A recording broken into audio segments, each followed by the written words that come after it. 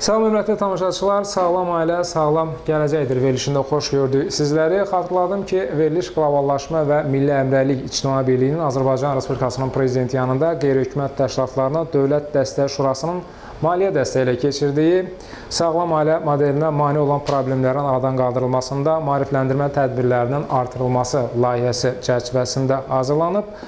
Studiyamızın bugünkü qonağı isə Dilarə Əliyev adına Azərbaycan Qadın Hüquqlarının Müdafiə Cəmiyyətinin eksperti Sədaqət Paşayevadır. Sədaqət xanım, xoş gəlmisiniz. Təşəkkür edirəm. Xoş gördük. Sədaqət xanım, ilk öncə istəyərdim e, bu barədə məlumat verir ki, sizin təmsil olduğunuz cəmiyyət Azərbaycan ailəsi, ümumiyyətlə ailələrin e, hüquqlarının qorunması istiqamətində hansı işlər görüb? Bizim ə, cəmiyyətimiz adətən ə, Azərbaycanda yəni ilk qadın hüquqlarını müdafiə edən təşkilatlardan biridir. Adətən ailədə ən çox hüquqları pozulan ilkin olaraq qadınlar olduğuna görə onlar müraciət eləyirlər öz hüquqlarını müdafiə etmək baxımından. E, və eyni zamanda biz təkcə müdafiə etmək deyil, eyni zamanda yaranan problemlərlə bağlı artıq tədbirlər görməyə düşünürdük. Yəni buna preventiv tədbirlər, qabaqlayıcı tədbirlər nə etmək lazımdır? Yəni bununla bağlı maarifləndirmə layihələri həyata keçirirdik. Məsələn, qadın haqqları, uşaq hüquqları, ailə hüquqları ilə bağlı xüsusi olaraq, yəni biz bu ə, maarifləndirmə tədbirləri müxtəlif layihələr çərçivəsində ən ucqar kəndlərə belə gedə bilirdik. Yəni bu əslində bu tədbirlərin əsas məqsədi ailədə bu narazılıqların olmaması, daha çox ə, qarşılıqlı anlaşmanın olmasına kömək edən bir məsələlər idi.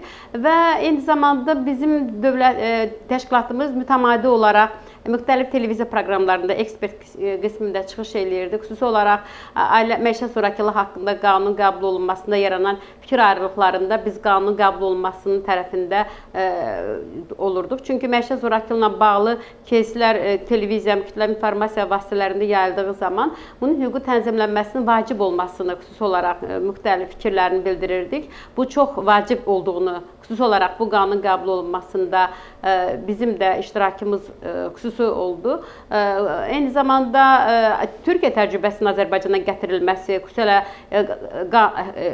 ailənin hüquqi tənzimlənməsi məsələsində yaranan fikir ayrılıqlarında müəyyən bir nizam yaransın. Yəni bu Dövlət Qadın Komitəsi də bu fikri dəstəklədi və eyni ekspertlər onlar da dəvət etdilər və onlar da öz rayon təşkilatlarına, Dövlət Qadın Komitəsinin rayon təşkilatlarında eyni adlı tədbirlər həyata keçirildi maarifləndirmə baxımından. Təbii ki, təşkilat ə, təkcə ona gələn insanların hüquqları müdafiəsini deyil, eyni zamanda region olaraq, məsələn biz baxırdıq Qərb bölgəsində daha çox hansı hallarda ə, ailədə problemlər yaranır? Məsələn, bizim Xaçmaz-Quba zonasında hansı problemlər, ə, Cənub bölgəsində Lənkəran Basallı, məsələn Şirvan zonasında, Aran zonasında, yəni demək olar ki, spesifik olaraq ə, biz həmin regionlar üzrə ailə dəyərləri, ailə münasibətlərinin pozulması hallarının qarşısının alınması ilə bağlı regional tədbirlər də həyata keçirirdik.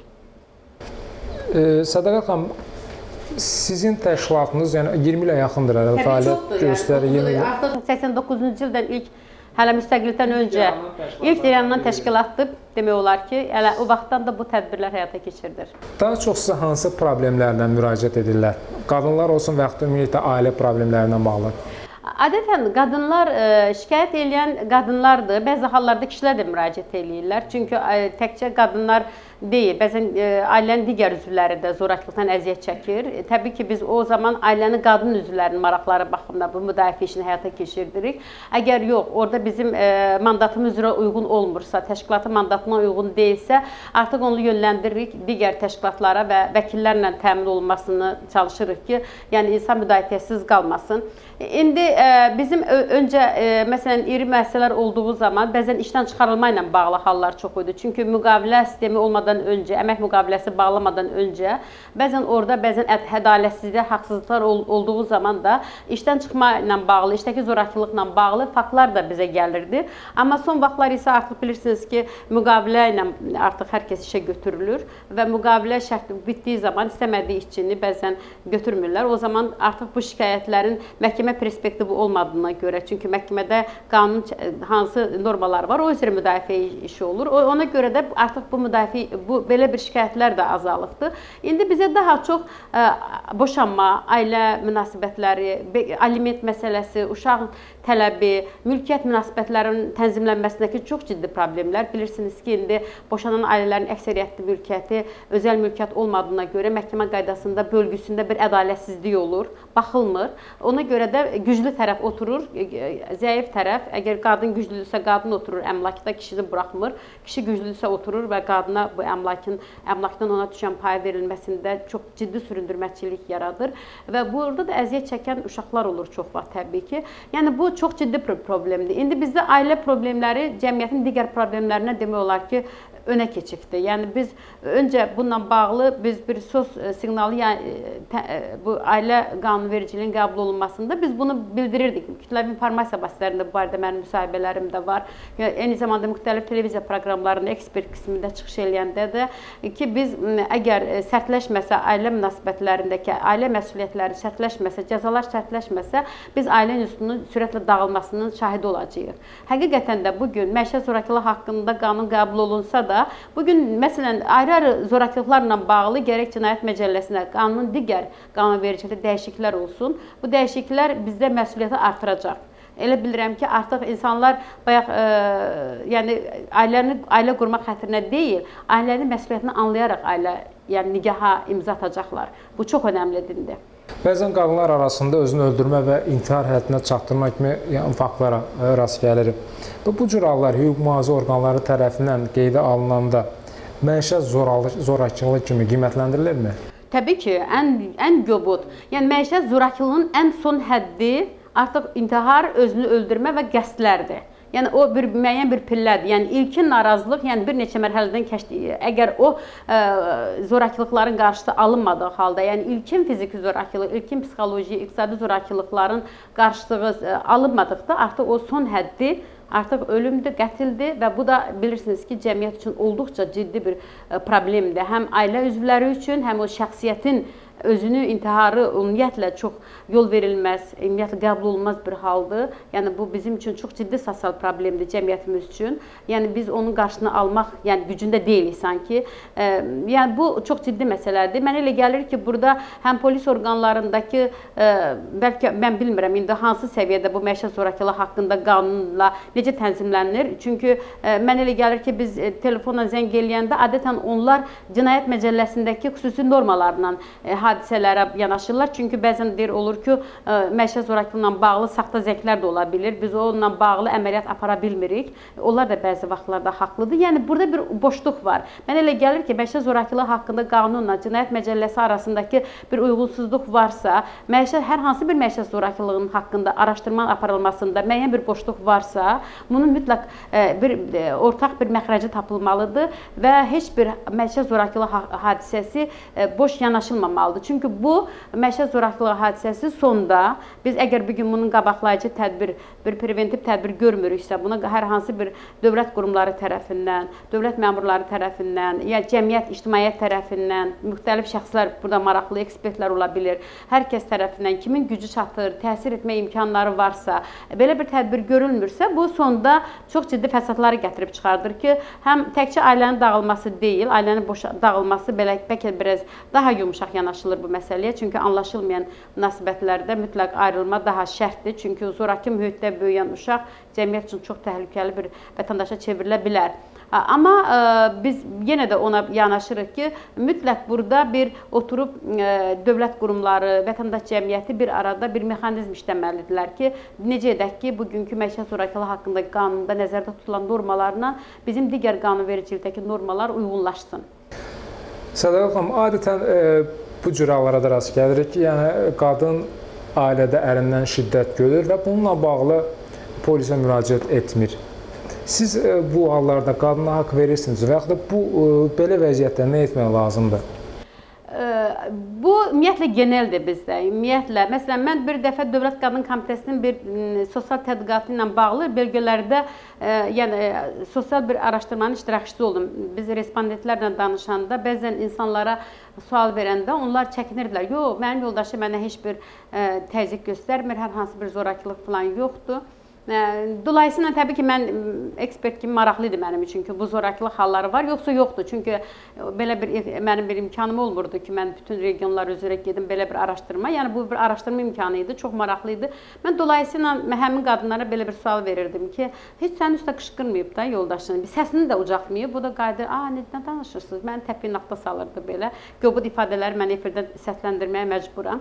Yəni dolayısıyla hətta belə səmimi söhbətlərdə qadınlar bəzən açıla bilmirlər. Yəni fikirlərini ifadə etmək üçün çəkinirlər ki, bu mənə ola bilsin yoldaşıma təzyiq göstərərlər, birdən yoldaşımı həbs eləyərlər, ailədə müəyyən narazılıqlar yaranar deyə onlar bu məsələni çox vaxt gizlədirlər. Ona görə biz həmişə bununla maraqlı olmuşuq ki, ölkəmizdə mütləq müstəqil ailə məhkəməsi olmalıdır bir. Ailə Məhkəməsi nəticələri artıq tənzimləyir. Yəni bu ədalətli tənzimləmə bu ailədəki müəyyən münasibətlərdə artıq çox sərbəst orada çəkişmə prosesi apara bilər. Qadınlar da, ailənin digər üzvləri, uşaqların fikirləri çox rahat ifadə alına bilər. Sonra tərəflər orada çox rahat öz fikirlərini ifadə edə bilər. Ədalət yəni gerçək faktlar ortaya çıxa bilər. Eyni zamanda münaqişəyə qədər ailə institutları olmalıdır ki, artıq qadınlarımız artıq ə, yəni çəkinməməlidirlər onlar. Tərəflər çox səmimi olmalıdırlar. Yəni onları narahat edən münasibətləri öncə öz aralarında müzakirə etməlidirlər. Əgər onlar öz aralarında bir ortaq məxrəcə gələ bilmirlərsə, mütləq psixoloqlar, sosioloqlar onlara yardımçı olmalıdırlar. Məsələn, mən cəmiyyətə müraciət edən hüquqları pozulmuş hesab etdiyi qadınlara çox suallar verəndə məlum olur ki, bu qadına hüquqi məsləhət lazım deyil. Öncə psixoloji məsləhət lazımdır ki, belə psixoloji özünün sosial vəziyyətini, ailədəki yerini, məsuliyyətini, sosial durumunu, psixoloji durumunu düzgün anlayan qadın artıq müəyyən bir zorakılıq həddinin yaranması üçün şərait yaratmaz. Eyni zamanda kişilər üçün də bu fikir yəni hakimdir. Ona görə bizim ölkəmizdə mən elə gəlir ki, əgər biz istəyirik ki, daha anlayışlı, daha bir-birimizi anlayan bir cəmiyyətdə yaşayaq, qarşılıqlı münasibətlər çox mükəmməl olsun. Yəni ən azı bir-birimizə hörmət, qarşılıqlı hörmət olsun. Mütləq ailə institutlarının formalaşmasında biz biganə qalmamalıyıq. Mütləq bu çox vacibdir. Bunun üzərində bizim ekspertlərimiz, sosioloqlarımız, psixoloqlarımız ciddi işləməlidirlər. Bəs ailə məhkəmələrinin yaranması haqqında bu səslənilən təkliflərə, bu sizin münasibətiniz nədir? Bu problemin həllinə təsir edə bilər? Təbii, çox ciddi təsir edəcək. Çünki ə, bəzən ə, məhkəmə prosesində hakimin işləri düzülüb, yəni bu həftə ərzində, bu gün ərzində bir 4 işə baxacaqdır. Ə, məsələn, hər hansı bir ə, çox ağır qətl hadisəsi müzakirə olunur, ta ki hakim o prosesi aparır və dalınca bir ailə zorakılığına bağlı. Yəni masştabına görə baş vermiş hadisələrin nəticələrinə görə ailə zorakılığı onun yanında çox kiçik bir hadisədir. Amma biz hesablaya bilərik ki, bu zorakılıq gələcəkdə həmin böyük qətllərin yaranmasının zəmini də artır. Ona görə buna biraz o yorğun hakim biraz ona təbii ki mən ümumiyyətlə hakimlərin hərəkətlərini müzakirə etmək baxımından demək istəmədim. Yəni o o biraz ona o məsələyə biraz çox adi baxa bilər. Bəlkə heç onun çox qanun ümumiyyətlə imkan vermir ki, o dinləmələrdə daha çox detallı araşdırma aparsın, daha çox orada səbəbləri müzakirə eləsin, nəticələr, faktlar. Çünki elədir ki, bu hadisələrin ailə zorakılığının bütün hadisələrlə bağlı sübutlar lazımdır. Şahid ifadələri lazımdır. Bəzən bu hadisələrin şahidi olmur axı, tərəflər özü olur ancaq. Ona görə də biraz özəl mütəxəssis məhkəmələr lazımdır buna ki, ona daha çox həmin o baş verən, yəni sübutların olmadığı hadisələrdə gərək daha intuisiyalı, daha həssas məhkəmə prosesi olmalıdır ki, hakim baxmalıdır ki, burada hansı haqlıdır, hansı doğru deyir, hansı yalan deyir. Yoxsa biz baxsaq ki, yox. Məsələn, elə hallar baş verir ki, indi ailə zorakılığına bağlı, mütləq onunla bağlı video görüntü lazımdır qanunvericilik bunu tələb eləyir. Məsələn, qadın öz həyat yoldaşına xəyanət eləyib. Video görüntü yoxdur səs yazılarını qəbul eləmirlər. Məsələn, bizdə bir şikayət var. E, məsələn, bir qadının e, məsələn 30-dan çox telefon nömrəsi var qadının telefonunda. 30-dan çox ya kişinin telefon nömrəsi var, səs yazıları var, mesajlar var. Vəkili bunu aldadıb kişini aldadıb, götürüb görüntüləri silibdi. Qarşı tərəfində hansı maraqları olubsa onda onun. Yəni təsəvvür elə ki, böyük bir haqsızlıq açıq qalıb indi burada. Amma video görüntü yoxdur. Məsələn, ilkin anda ə, əgər ə, ilkin anda ə, məsələn hər hansı bir kişi ə, biləndə ki, ə, həyat yoldaşı ona xəyanət eləyir, o durub onunla bağlı profilaktik tədbir görmək ə, düşüncəsində olmur. Yəni o hissiyatda olmur. Hər bir hər bir kişi özünü qoysun ora. Təzədən evinə video quraşdırsın, baxsın ki, bunun evinə kim gəlir və ya da bunun yoldaşı hara gedir. Artıq o ə, modda olmur, yəni psixoloji olaraq. Yəni insan bir anlıqda həmin kişinin yerinə. Yəni bunun üçün mütləq ailə məhkəmələri olmalıdır ki, bunu daha dəqiq incələsin və cəzası günahkarlar zamanında cəzalansın. Çünki ortada uşaqlar qalır. Məsələn indi bizdə iki şikayət var idi. Məsələn qadın e, şikayət qadın onu xəyanət etməsinə bağlı şikayət var. Ölkədə ö, ö, onun öhdəsində az yaşlı qız uşağı var. Ata bundan narahatdır. Çünki bizə gələn elə faktlar var ki, məsələn qız uşaqları olub ki, qadına verilib az yaşlı olduğuna görə, sonra qadın öz əməlindən çəkilməyib. Qız yenə 13-14 yaşında anasının hərəkətlərini şikayət edib. Biz orada atasını tapmışıq. Atasına uşağı atası ilə uşaq arasında bir barış prosesi bir neçə ay çəkir. Çünki ana da o müddət ərzində atanı uşağın gözündən salır ki, bizi ata bizi məni bu yola düşməyə vadar eləyib, ata məni boşamasaydı mən əxlaqsız olmazdım. Yəni dolayısıyla ailə ailə institutu ailə o qədər mürəkkəb bir məsələdir ki, bunun üçün mütləq ailə məhkəməsi olması bütün bu araşdırmaların obyektiv həllinə gətirib çıxaracaqdır. Bu çox vacibdir. İndiki halda bizə ayrıca ailə məhkəməsi və onun araşdırması ilə bağlı daha spesifik, daha ə, yəni həssas ə, araşdırma metodlarının tətbiq olunması çox vacibdir ki, ə, ailənin günah ə, bəzən günahkarları, gerçək günahkarları, mən demirəm burada qadındır, mütləq kişidir və kimdir, ə, obyektiv olaraq ortaya çıxsın ki, vaxtında cəzalanandığı zaman məncə ailə institutlarında problem getdikcə azalacaqdır. Məişət zorakılığı qurbanlarına yardım mərkəzlərinin fəaliyyəti hansı səviyyədədir? Məişət zorakılığının qurbanları ilə bağlı mən yenə də mən yenə də çünki o prosesin içində deyiləm. Çünki o sığınacaqlar demək istədiniz siz. Mən çünki o prosesləri olmamışam, ya monitorinq aparmamışam. Mən orada o proses necə aparılır bilmirəm deyən. Məsələn, bizə bir neçədən şikayət var. Mən indi o şikayətlərin hələlik e, bizlə o, o oradan bizə gələn şikayətlər var. Biz hələlik onun belə ictimailəşməsinin tərəfində deyiləm. Çünki bizim üçün bu yeni bir institutdur. Yəni məişət zorakılığının, sığınacaqların yaranması. Amma yaxşı olardı ki, e, bunun obyektiv monitorinqlər aparılsın. E, bunlar şikayətçilərlə necə davranırlar? şikayətçilərin şikayət onlara pənah gətirən insanlarla onların münasibəti necədir? Və e, onların hüququ tənzimlənməsi hansı formadadır, hansı mərhələni keçirirlər. Yəni buna biraz e, mən hesab eləyirəm ki, buna çox ciddi ehtiyac var. E, bu çox vacib bir məsələdir. Bizim üçün sığınacaq məsələsi yeni bir institutdur. Biraz burada da Ə, məncə bu düşünmək lazımdır bununla bağlı. Çünki ə, bir neçə nəfər göndərdik. Mən də onun heç birinin adını çəkmək istəmirəm. O bir nəf bir gün qalmışdı və oradan çıxıb getmişdi baxmayaraq ki, onun qardaşı onu öldürmək həddində idi, amma dedi mən e, öz ailəmə qayıtdım. Təklə belə ölümü gözünə alaraq geri qayıtdı. Biləsuvardan müraciət eləmişdi bu xanım. Belə, yəni mən yenə də e, mən yenə də onu demək istəyirəm ki, həm o sığınacağa rəhbərlik edən insanlar mütləq məsuliyyətini anlamalıdır ki, bu bir e, özəl struktur deyil. Bu dövlətin bir parçasıdır. Mən mənə gələn insana mən necə yanaşmalıyam? və bura gələn insana hər kəsi fərdi olaraq e, Bəzən olur ki, insan alveri qurbanı ilə məişət zorakılığının qurbanı eyni müəssisədə saxlanması ümumiyyətlə qanuna ziddir tamamilə fərqli mühitdə olmalıdırlar. Onların reabilitasiyası fərqli müstəvidə olmalıdır. Bax bunlara çox diqqət etməliyik. Məsələn, mən hesab edirəm ki, bu bizim ölkəmizdə bir boşluq var burada. Bizə müraciət edən təbii ki, çox sayda bəzən qar yağanda müraciət edir uşaqları ilə. Biz başqa çıxış yolumuz yoxdur. Çünki bizim belə bir sığınacaq saxlamaq belə bir layihəmiz yoxdur, belə bir iqtisadi imkanımız yoxdur. Biz məcbur oluruq ora göndəririk. Həmin ünvanlara göndəririk. İndi çox yaxşı olardı ki, biz oradan ancaq yəni insanlara xoş, yəni ümid verən Çünki ailədə zorakılığa məruz qalan insan dövlətdən öz pənahını gö görməlidir. Elə deyilmi? Dövlət ona sahib çıxmalıdır. Eyni zamanda sonrakı münasibətlərin tənzimlənməsində maraqlı olmalıdır. Dövlət buraxmamalıdır ki, əgər bu evindən çıxıbsa, arxadakıların məsuliyyəti nədir? Onlar nəyə görə bu evindən çıxıbdı? Artıq dünyada belə bir şey var artıq. Məsələn, çox mütərəqqi ölkələrdə zorakılığa məruz qoyan insan evdən uzaqlaşdırılır. Bu çox vacibdir. Hətta onun öz mülkiyyəti olsa belə ev, e, öz əgər onun zorakılıq faktı sübuta yetirilirsə, zorakılığa məruz qalan deyil, zorakılıq törədən evdən uzaqlaşdırılmalıdır. Bu çox yaxşıdır.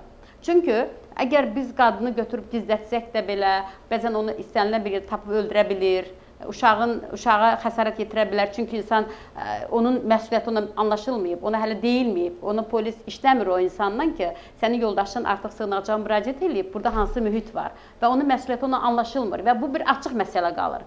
Ona görə də mənə elə gəlir ki, biraz bu zorakılığa törədən insan, bu qadındır, kişidir, fərq etməz. O evdən uzaqlaşdırılsa, bu daha profilaktik ola bilər. Nəinki qadın və uşaq. Çünki qadın və uşağın çıxması həm il arasında, a, demək bu ailəsini istəmir, demək sərbəst yaşamaq istəyir. Biraz da məsələyə başqa bir don geyindirilir. Bu çox vacibdir ki, mütləq zorakılığa məruz qalan şəxs zorakılığa zorakılığa zorakılığı tətbiq edən şəxs evdən uzaqlaşdırılsın.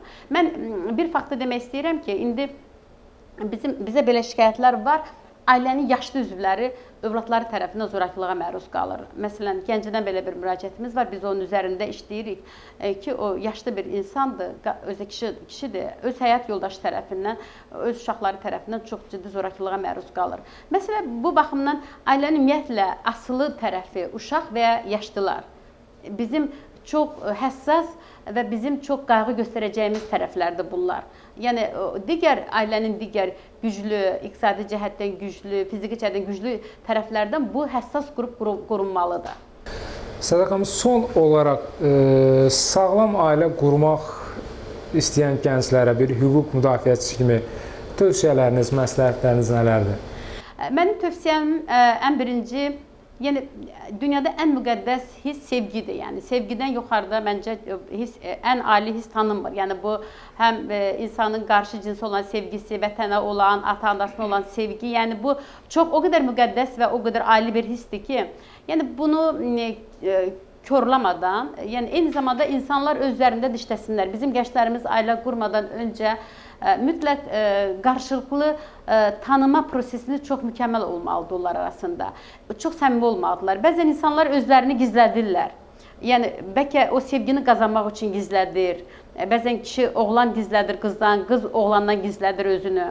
Yəni bu gizlənmə prosesi ailədə ortaya çıxır və bu gizlənməsinlər onlar. E, yəni bütün tərəflərini açıq olsun. Yəni onu necə sevirsənsə onu, yəni necə ilkin necə o səndə o hiss yaranıbsa ki, sənin üçün ondan ə, e, müqəddəs bir insan varlıq yoxdur. Eyni zamanda sən çalış ki, o səni tanısın. Sən özünü gizlətmə ondan. Yəni qorxma ondan ki, o səni ata bilər. E, əgər indi atırsa, məncə ailədəki zorakılıqdan daha ə, faydalı ola bilər indiki mərhələ. Məsələn, sağlamlıq baxımından, psixoloji baxımından, sosial durum baxımından, yəni həyata baxışını o qədər mükəmməl açıq olmalıdır ki, gənclərimiz ailələrdə ailəyə hazır olduğu zaman ailə qursunlar. Yəni ailəni bir şou xarakterli etməsinlər ki, mütləq hər kəs ailə qurur. Mən evdə qaldımsa, mən el qınağına sahib qalacağam və yaxud da evlənmədimsə, bu əgər yarımçıq bir ailə qurursansa, cəmiyyət üçün çox ciddi fəsad olursan və sənin yaratdığın münasibət, sənin e, dünyaya gətirdiyin övlad cəmiyyət üçün çox təhlükəli bir vətəndaşa çevrilə bilər. O baxımdan mən yenə tövsiyəm odur ki, bizə gələn şikayətlərdən mən baxıram 60-70 faizi sevərək evlənən ailələrdir.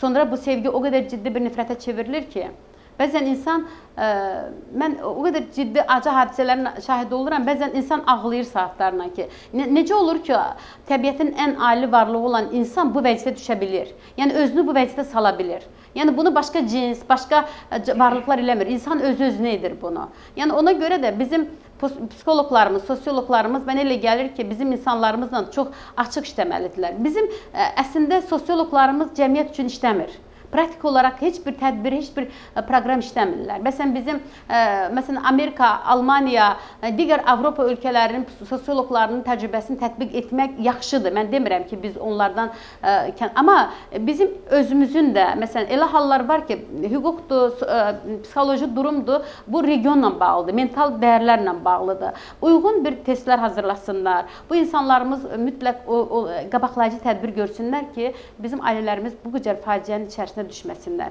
Çox ağırdır yəni. Sədaq xanım, çox sağ olun. Maraqlı söhbət üçün, dəyərli məsləhətləriniz üçün təşəkkür edirik sizə. Mən təşəkkür edirəm ki, bu çox önəmli sosial problem üçün belə bir layihə işləyirsiniz. Gənclərimiz, insanlarımıza belə bir maarifləndirmə tədbirləri görürsünüz. Həqiqətən də bu çox vacib bir e, maarifləndirmə tədbiridir. Uğurlarınız bol olsun, Çox başarılı olsun, Təşəkkür olsun. edirəm. Çox sağ olun. Hörmətli tamaşaçılar, siz Sağlam Ailə Sağlam Gələcəkdir verilişinə baxdınız. Qonağımız isə Dilarə Əliyeva adına Azərbaycan Qadın Hüquqlarının Müdafiə Cəmiyyətinin eksperti, hüquq müdafiəçisi Sədaqət Paşayeva idi və bir də xatırladım ki, veriliş qloballaşma və Milli Əmrəlik İctimai Birliyinin Azərbaycan Respublikasının prezidenti yanında qeyri-hökumət təşkilatlarına Dövlət Dəstəyi Şurasının maliyyə dəstəyi ilə keçirdiyi sağlam ailə modelinə mane olan problemlərin aradan qaldırılmasında maarifləndirmə tədbirlərinin artırılması layihəsi çərçivəsində hazırlanıb. Sağ olun, salamat qalın.